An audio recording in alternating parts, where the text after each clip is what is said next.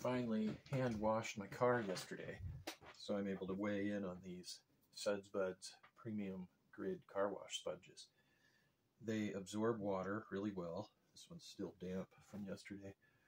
So there's plenty of water and soap coming from the sponge as I wash the panel of my car. Uh, they're a useful size. I'm a 5'10 man, 175 pounds, average size hands. This one's pretty large, uh, but I think I'd rather have two of the smaller ones, but we'll see. That was the first wash, so um, I use this one the most, but the large one, it can be good for larger surfaces when I want more water and soap.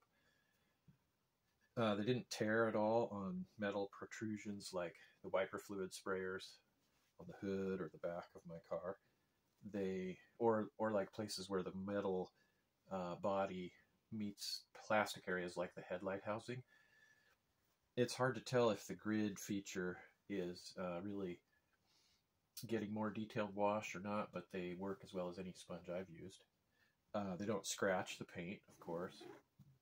And I can confirm that the size of both sponges matches the product posting, except that maybe the thickness is a quarter inch thinner than what is claimed, but that's not a deal breaker for me. So uh, it's getting to be winter.